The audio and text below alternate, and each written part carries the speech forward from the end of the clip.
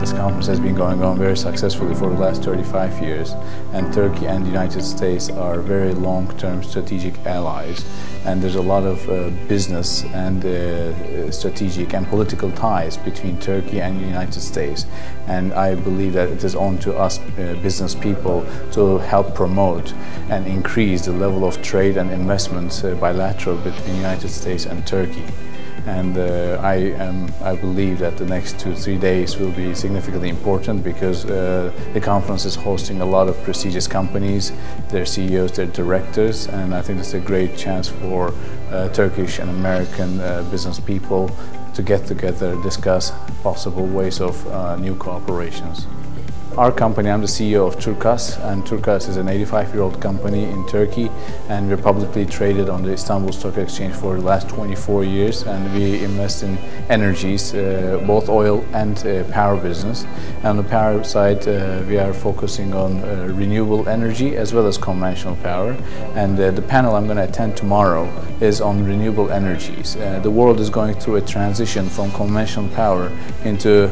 renewable energies, and as energy energy companies, we cannot neglect this reality. Hence, we have to cope up with the change to sustain our businesses, but also to sustain the world as a more environmental friendly place. So uh, we're going to be talking about how Turkish and US companies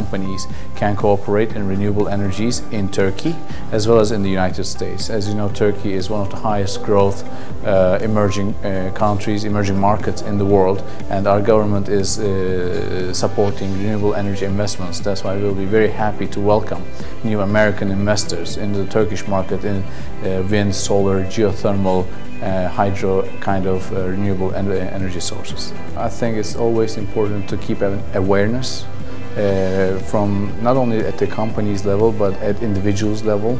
and as long as individuals are uh, conscious about the importance of renewable energies in the world that will uh, push and trigger the corporates to also focus and as well as governments to focus on uh, improving and increasing the level of renewable energies in the world. And also the governments have to support these initiatives by incentivizing companies that invest in renewable energies while keeping also a balance between the conventional power as well. Of course, conventional power levels are going to go down and uh, renewable energies are going to go up, but in the meantime, we should also be